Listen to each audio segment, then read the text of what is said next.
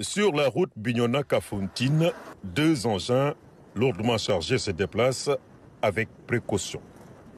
Prudence et vitesse normale, l'opération se déroule sans encombre jusqu'au point d'arrivée, cet embarcadère d'où partent les pirogues pour les îles de la basse Casamance.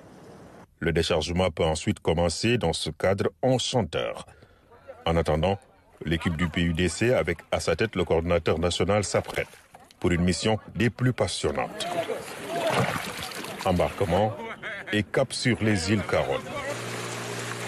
Une demi-heure de navigation, le temps d'admirer les plans d'eau bordés de mangroves. Et puis, des tricycles, seul moyen de locomotion pour aller à Ilol, la première des îles Caronne. Le coordinateur du PUDC est venu annoncer la bonne nouvelle à ces insulaires. Des mots de bienvenue et un sentiment de satisfaction non dissimulé. Somme toute, ce déplacement euh, me permet de constater de visu les difficultés auxquelles vous êtes confrontés. Raison pour laquelle euh, nous sommes là et nous vous annonçons que bientôt vous aurez l'électricité et euh, nous, nous envisageons avec l'entreprise qui a été sélectionnée de vous installer une centrale solaire.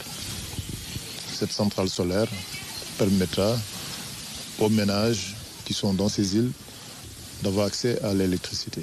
À l'immense des autres localités du pays, les îles de la basse Casamance vont également bénéficier du volet électrification rurale du PUDC et enfin accéder à l'électricité.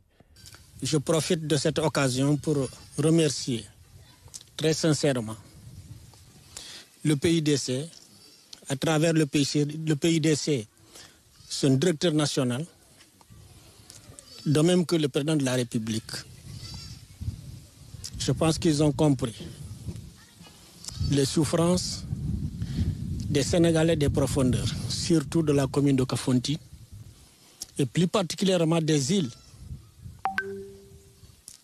Euh, C'est avec plaisir que nous vous recevons. Nous vous souhaitons un bon séjour ici, un bon travail, n'est-ce pas, jusqu'à la fin de ce projet. Dans cette zone s'enchevêtrent plus d'une vingtaine d'îles et d'îlots paisibles et attrayants.